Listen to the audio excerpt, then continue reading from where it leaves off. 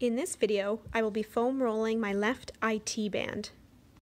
The iliotibial band, or IT band, is a band of connective tissue located on the outer part of the leg, originating from one of the muscles at the hip. The IT band cannot be stretched due to its tissue composition. Foam rolling can help to alleviate pain and discomfort in this area, along with promoting fluid exchange within the tissue.